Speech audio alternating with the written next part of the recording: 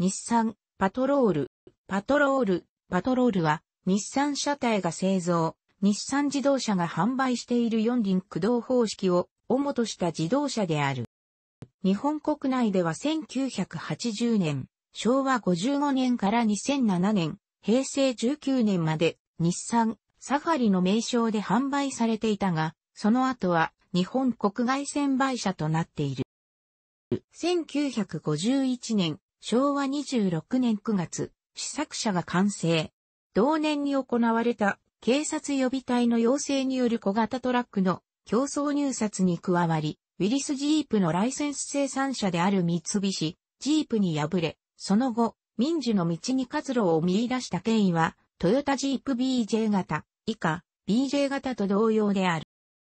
車両の構成も BJ 型と非常に近く、はしご形フレームに前後、リーフリジットサスペンションと大型トラック用、直列6気筒ガソリンエンジンを組み合わせる手法をとっている。エンジンは 3.7L の A 型系なで、基本型の最大出力は 82PS であったが、ほどなく NT85、日産トラック85型の通称を持つ 85PS のものに変更された。積載量はジープの1、4トンに対し1、2トンと大きく、車両重量のみでも5割近く大きいが、タイヤサイズは6.00から16で、ジープと同じであり、プライ数のみが異なる。ホイールは4.5バツ16で5ケである。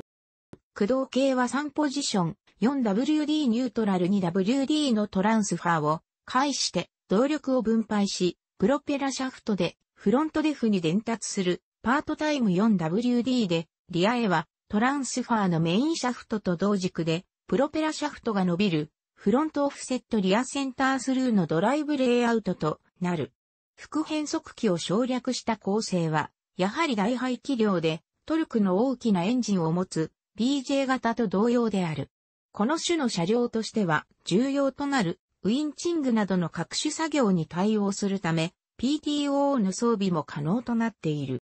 トヨタとの違いはフロント周りで特に顕著で、BJ 型は長いエンジンをほぼフロントアクスル後方、フロントミッドに収めるが、4W60 型ではアクスルにオーバーハングする形をとっており、全長に対する有効スペースはわずかながら大きい。そのため、フロントデフとの干渉を防ぐため、エンジン搭載位置はやや高くなっており、オイルパンは薄く、フロントデフキャリアにも逃げがある。また、両者のエンジンが直列6気筒であることも共通だが、トヨタ B 型がシボレーのコピーで4ベアリングオフであったに対し、日産、ナ型は戦前に米グラハムページから原設計を買い取って作られた7ベアリングサイドバルブである。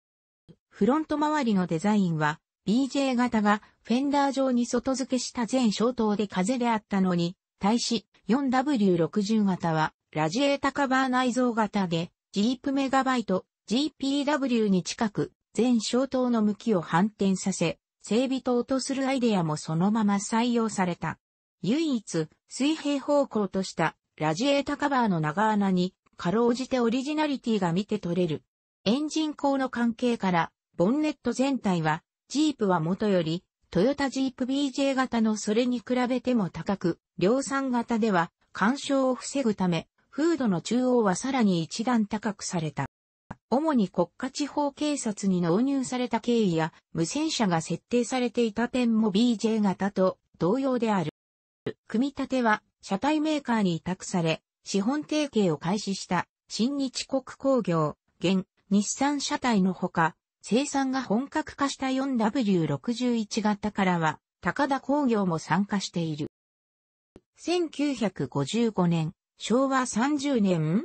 には改良型の B 型 NB エンジンを得て 4W61 型となる。民間用としてふさわしいデザインへの試行も行われ、エンジンフード中央が一段と高くされたほか、平面であったラジエーターカバーが中折れ形になり、メッキの装飾も加えられた。その見た目から鉄仮面のあだ名が付けられたが、これにもの強い影響が見られる。当時、日産と新日国工業は、ジープの顔を持つ乗用車として、異彩を放ったダットサンスリフト、節約、倹約の意の生産も行っており、新中軍と共に上陸したジープが日本の工業界に与えた賞の大きさが伺える。また、フロントシートがセパレートから21のベンチシートとなり、インストゥルメントパネルの衣装も変更され、センターメーターとなる。1958年、昭和33年10月、エンジンの排気量が 4.0L に拡大された C 型 NC となり、4W65 型となる。1959年、昭和34年、C 型の発展型であるオフ 4.0L の P 型160軽サファリ登場の際に一部改良が行われ P40 型と解消が搭載され、形式が 4W66 型となる。P 型の名は、主に搭載されるパトロールにちなんだものと言われ、1987年、昭和62年に TB42 型が登場するまでパトロール、サファリに使われ続けているほか、陸上自衛隊向け3、4トントラック、94W70 型系とその民生用の 4W70 型系、キャリアにも採用された。1960年、昭和35年10月、モデルチェンジ。先代のジープアリューを脱し、ランドローバー SRI SRE アにも通じる大きな箱型フロントフェンダーを持つスタイルへ変更される。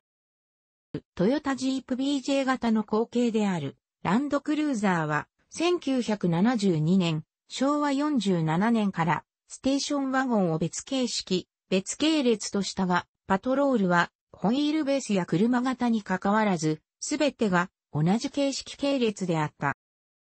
消防用シャーシはファイヤーパトロールの名で販売され、山間部や積雪地にとどまらず、大排気量エンジンを活かした A2 級ポンプの放水能力を買われ、広く全国に配備されていた。ファイヤーパトロールには前輪の駆動装置を省いた二輪駆動仕様があり、44のバッジ、トランスファーレバー、副変速機レバー、フロントアクスルのデフがないことが識別点となる。一方、ポンプへの動力を断続する PTO レバーはすべてのファイヤーパトロールに備わる。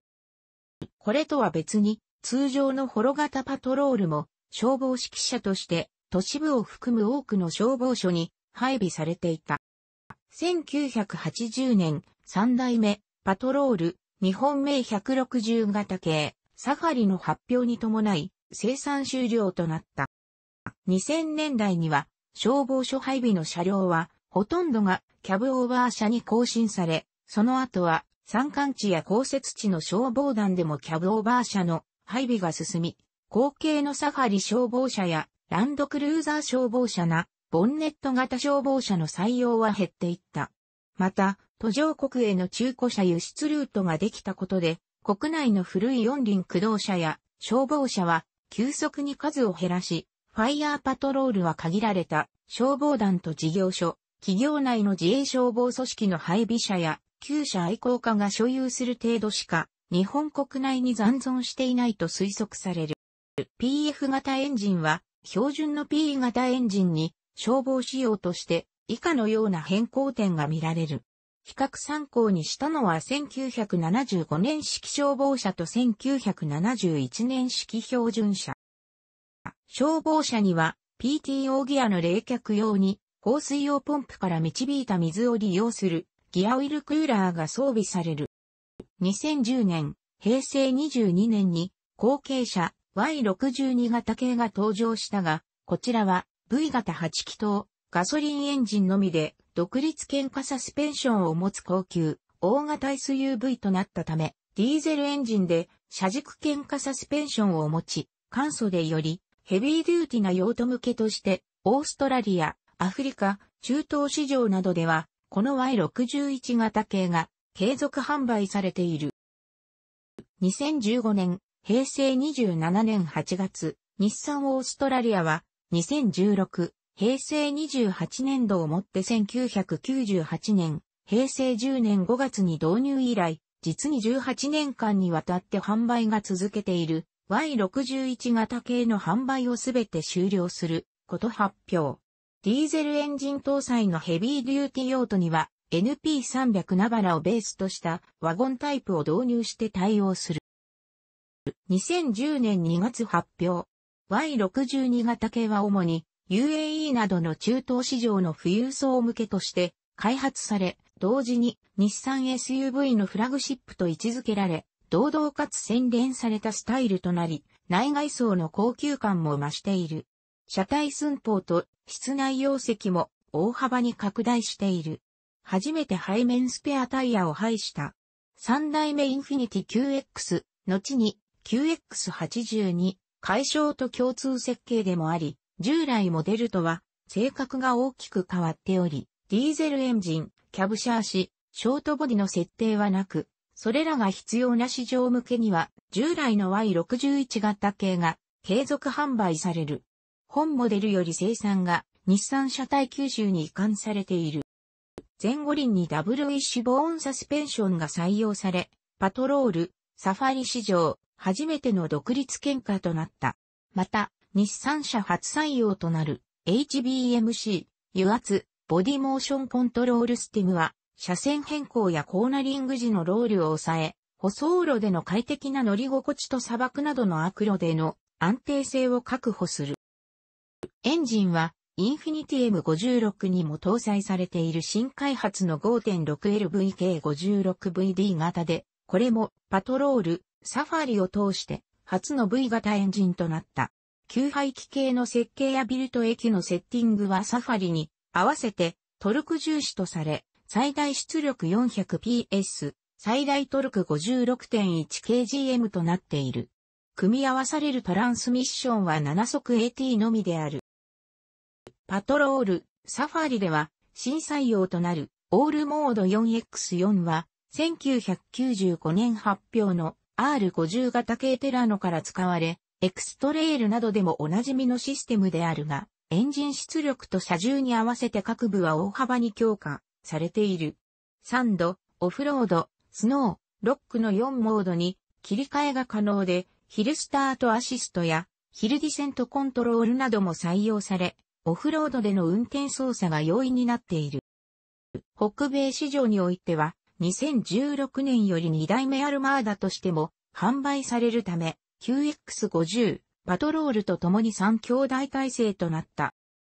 トヨペットクラウン、後にトヨタクラウンに、解消をベースにケーラ専用車両として、同名車のトヨタパトロールが1955年、昭和30年から1967年、昭和32年まで存在したが、その後はトヨタパトロールカーを経て、トヨタクラウンパトロールカーへ名称変更されている。パトロールは英語の巡回、石膏、経営、巡行、偵察隊、監視者を意味する。楽しくご覧になりましたら、購読と良いです。クリックしてください。